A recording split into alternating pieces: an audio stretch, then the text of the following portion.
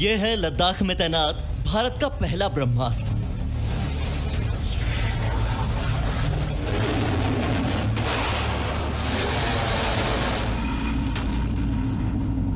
Supersonic BrahMos cruise missile.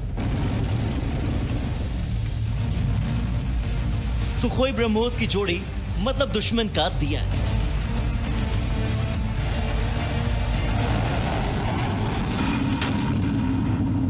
है लद्दाख में तैनात, भारत का दूसरा ब्रह्मास्त्र।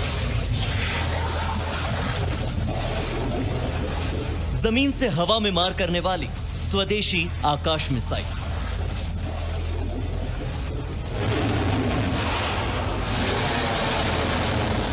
हवा में चीन के लड़ाकू विमानों का काल। और यह है लद्दाख में तैनात, भारत का तीसरा ब्रह्मास्त्र। स्वदेशी निर्भय मिसाइल। Range 800 kilometre. जिसके नाम से ही चीन के सैनिक भय खाने लगे हैं। ये तीनों ही मिसाइलें इस वक्त लद्दाख में एलएसी की तरफ़ से इन तीनों मिसाइलों की तैनाती तब की गई है, जब चीन की पीपल्स लिबरेशन आर्मी ने शिनजियांग और तिब्बत क्षेत्र में अपनी घातक मिसाइलों को तैनात किया है। पीएलए की वेस्टर्न थिएटर कमांड ने 2000 किलोमीटर की रेंज में हमला करने वाले मिसाइल यहाँ पर तैनात किए हैं।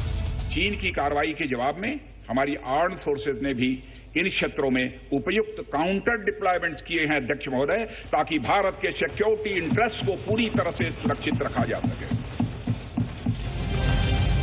चलिए सबसे पहले आपको ब्रह्मोस की ताकत बताते हैं। ये मिसाइल हवा से हवा में या ज़मीन से हवा में मार कर सकती है। ब्रह्मोस सुपरसोनिक क्रूज मिसाइल की अधिकतम रेंज 400 किलोमीटर। ब्रह्मोस दुनिया की सबसे तेज सुपरसोनिक मिसाइल है। इसकी रफ्तार 2.8 मैक, यानी ध्वनि की क्षमता से तीन गुना तेज है। और 300 किलोग्राम भारी युद्धक सामग्री ले जाने में ये ब्रह्मोस मिसाइल सक्षम है। ब्रह्मोस सबसे उम्दा सिस्टम और वर्ल्ड की मानी हुई क्रूज मिसाइल सिस्टम है, जो कि सुपरसोनिक स्पीड है। इसके जो स्पीड का मुकाबला विश्व के किसी मिसाइल में नहीं है। सबसे तेज गति से यह मार करता है और इसकी मार करने की क्षमता 500 किलोमीटर रेंज तक। और बहुत इसकी हम हम इसको सतह से सतह सरफेस टू सरफेस और एयर टू सरफेस मार। और ये बहुत बहुत ही बड़ी हमारे पास एक क्षमता है। ब्रह्मोस की तरह लद्दाख में तैनात स्वदेशी आकाश मिसाइल भी उतनी ही विध्वंसक है। ज़मीन से हवा में मार करने वाली ये मिसाइल किसी भी तरह के मौसम में हमला करने के लिए तैयार है।